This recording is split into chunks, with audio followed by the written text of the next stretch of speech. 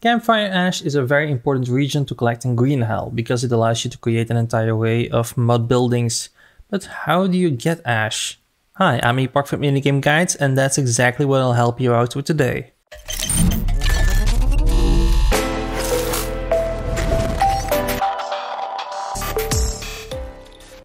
There are multiple ways to get campfire ash, and let's just start off with an obvious one. Now, ash can be collected from burnt out fires, so your first step should be to start a small fire, and if you need help with that, just check out my video in the top right corner. Now, a small fire will burn out in about 12 in-game hours, but this can be hard to do because it's just raining all the time in Green Hell. And when it starts raining, the fire will go out. Now for that reason, you need to either place your fire under a modular shelter or under one of the buildings that are already in the game.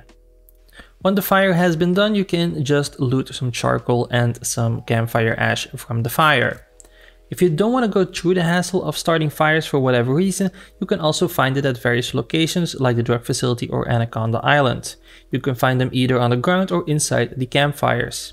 But if that's even too easy for you, you can also find 2 to 3 campfire ashes at the tribal villages, but for that you will need to kill about 3 natives who will put up quite a fight.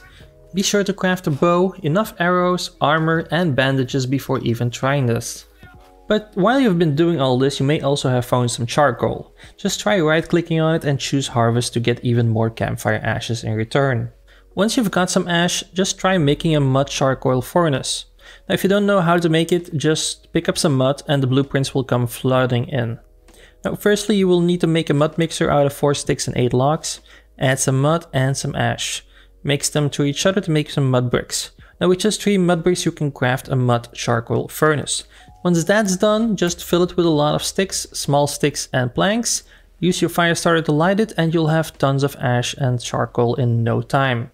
Now that you've got plenty of ash, you should really start setting up more ways to make life a lot easier. For help with that, be sure to check this playlist out on ways to get easy water, food and just ways to generally thrive and survive in Green Hell. I want to thank you for watching and I'll see you in the next one.